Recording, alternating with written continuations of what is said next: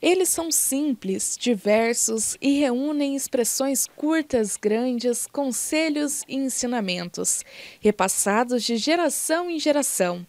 Talvez seja mais comum na boca dos pais e avós, o que não quer dizer que não seja usado pelos mais jovens.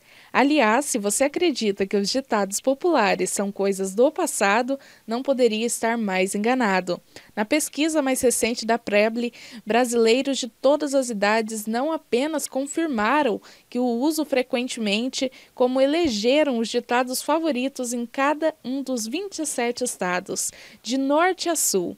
São dois os queridinhos nacionais, o barato sai caro e a mentira tem perna curta, presente no dia a dia de seis em cada dez entrevistados. E por isso, Eduardo, decidimos sair nas ruas de Umarama para conferir quais são os ditados populares mais ditos pelos umaramenses. Estou aqui ao lado da Juliana Thaís, que vai ser a nossa primeira entrevistada. E aí, Juliana, qual que é o ditado mais falado por você?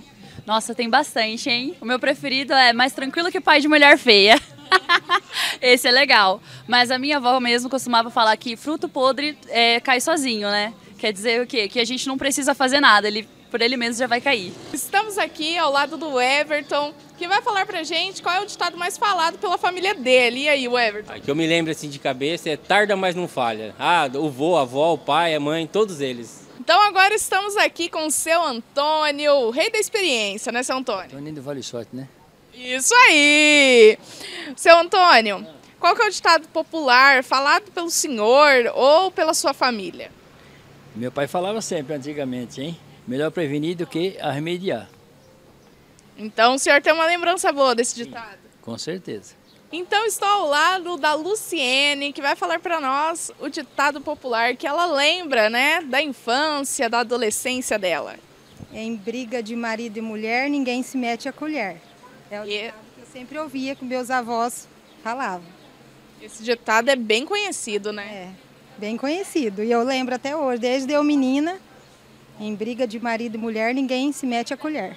Isso porque, para compreender quais ditados são os mais utilizados no Brasil, mil respondentes foram indicados a avaliar dezenas de expressões típicas do nosso senso comum, identificando os provérbios populares que escutam e dizem com frequência nas regiões onde vivem.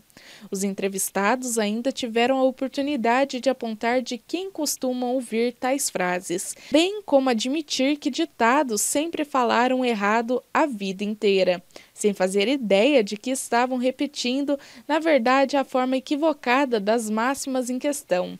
Prova dessa mentalidade compartilhada é o fato de que, em meio a milhares de ditados populares nas cinco regiões, o barato sai caro foi eleito o mais utilizado em todo o Brasil, à frente dos também comuns, quem ri por último ri melhor com 56,9%, e a pressa é inimiga da perfeição, com 56,9% também.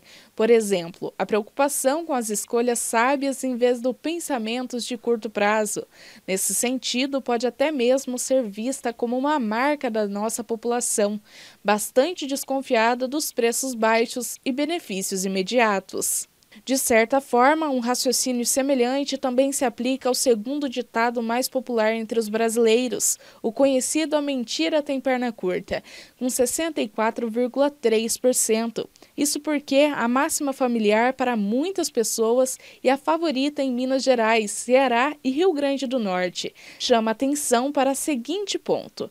Alguém pode até ser feito de bobo, mas mentiras e falcatruas não se sustentam por muito tempo, sendo desmascaradas logo logo. Uma população desconfiada? Ao que indicam seus ditados favoritos, talvez.